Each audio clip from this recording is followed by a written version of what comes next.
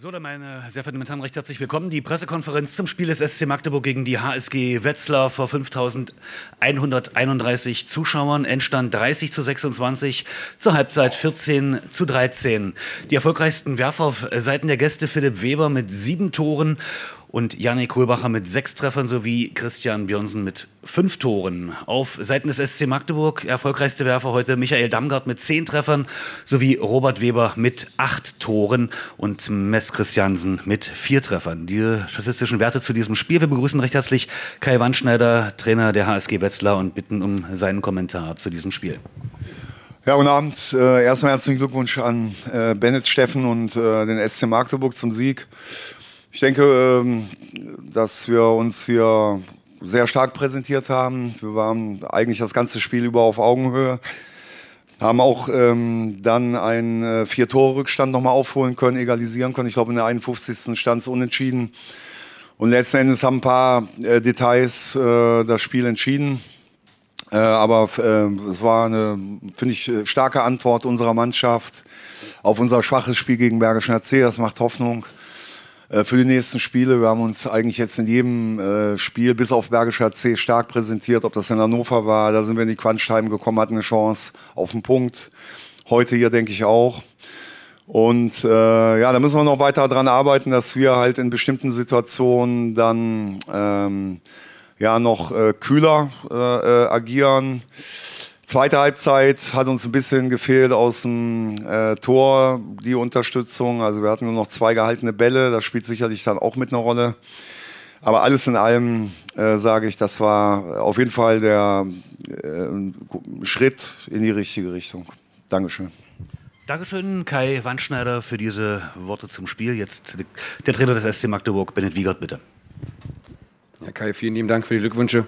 Ähm wir freuen uns natürlich sehr, dass die zwei Punkte heute in Magdeburg geblieben sind, da wir uns ja in den letzten Jahren bekanntlich ähm, sehr, sehr schwer äh, mit Wetzlar getan haben. Und das äh, hat uns heute gar nicht verwundert, dass es heute eh nicht der Fall war. Ich finde auch, dass Kai das super analysiert hat. Ähm, das trifft es auf den Punkt. Ein Riesenkompliment auch an Wetzlar. Es war der erwartet starke Gegner. Das war ein gutes Handballspiel. Ja, das muss man mal äh, wirklich so analysieren äh, von beiden Mannschaften. Ähm, auch vom Kämpferischen, äh, vom Spielerischen. Ich glaube, da war alles drin, äh, warum wir unseren Sport so lieben. Deswegen keine Analyse heute mal von mir. Ähm, Glückwunsch an meine Mannschaft, dass sie äh, vor allen Dingen in diesen Crunch-Time-Phasen äh, wirklich cool geblieben sind. Wir haben eine hohe Angriffseffektivität heute bekommen, hinbekommen. Hm. Vielleicht lassen wir in der Anfangsphase den einen oder anderen Bein auch liegen äh, im Abschluss. Aber bei den wenigen Angriffen, gefühlt sind es weniger als normal, äh, war das eine hohe, hohe Effektivität äh, unserer Mannschaft heute. Äh, zum Schluss möchte ich gerne noch eine Sache sagen, die nichts mit dem Spiel zu tun hat, die mir wirklich, wirklich am Herzen liegt und wirklich wichtig ist, auch loszuwerden. Ich habe, glaube ich, eben, deswegen, Entschuldigung, keine meine Verspätung, äh, nochmal drei Interviews mit unterschiedlichen Medienpartnern geführt.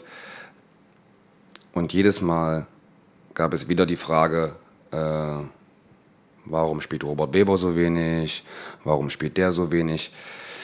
Hm, wenn Sie Interesse haben, fragen Sie meinen Kollegen Kai. Er hätte bestimmt gerne mit zwei Langzeitverletzten diese Luxusprobleme, die wir gerade haben in unserem Kader.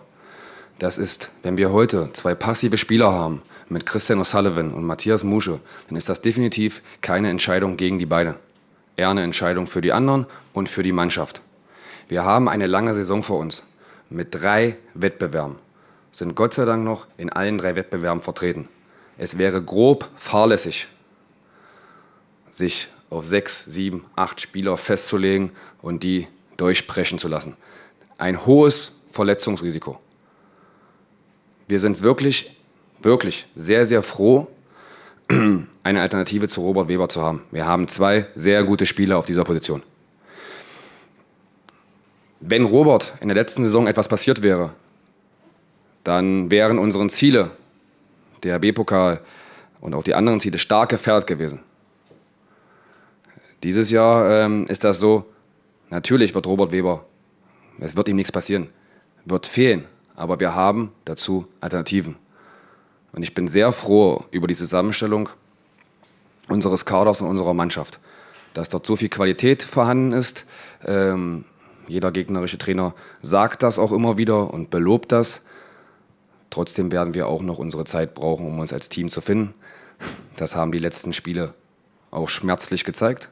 Das ist definitiv so. Ich glaube, das waren heute auch zwei Mannschaften, äh, die ähnliche Erlebnisse den Spieltag davor hatten. Deswegen bin ich umso glücklicher und stolzer auf die Mannschaft, äh, dass sie sich heute mit zwei Punkten belohnt hat. Vielen Dank. Dankeschön, Bennett. Ja, was kann Steffen noch ergänzen?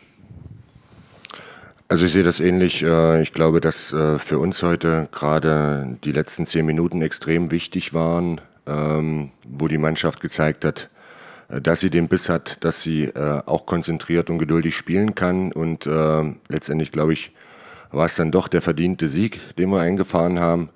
Und es ist halt einfach ein Spiegelbild der Liga. Also wenn man andere Mannschaften sieht, äh, die, äh, ich sag mal, zu Hause mit zehn verlieren und auswärts plötzlich mit elf gewinnen, das ist nun mal, die Dichte ist wirklich äh, sehr, sehr eng geworden und äh, jedes Spiel muss hart erkämpft werden. Und da entscheidet in vielen Sachen eben auch die Tagesform. Und ähm, darauf muss man sich einstellen. Es gibt keine Spiele, die man im Vorbeigehen macht. Äh, ob das ein Aufsteiger ist, äh, ich glaube, gegen größere Mannschaften äh, ist sowieso die Motivation schon da. Äh, aber das sollte man auch immer ein bisschen im Blick halten. Und äh, ich glaube, dass die Mannschaft heute wieder einen guten Schritt gemacht hat. Für uns ist halt wichtig, dass wir darauf aufbauen und das das nächste Mal vielleicht noch ein Stückchen besser machen.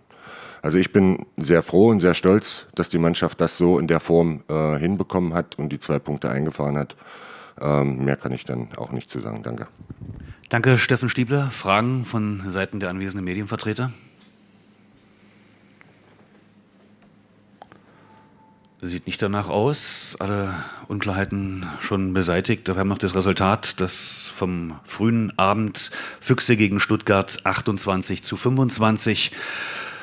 Und weitere Spiele gab es ja heute nicht. Ansonsten danke ich recht herzlich für die Aufmerksamkeit. Wünsche allen ein angenehmes Wochenende, ein langes Wochenende mit dem Feiertag, den Gästen nach Wetzlar eine angenehme Heimreise. Erfolgreiches Spiel denn am nächsten Mittwoch bei euch ja gegen Coburg. Und wir müssen dann am 7. Oktober nach Stuttgart. Wir sehen uns aber wieder hier in der GTK Arena am 16. Oktober dann zum Heimspiel gegen Balingen-Weilstätten. Recht herzlichen Dank bis dahin und auf Wiedersehen.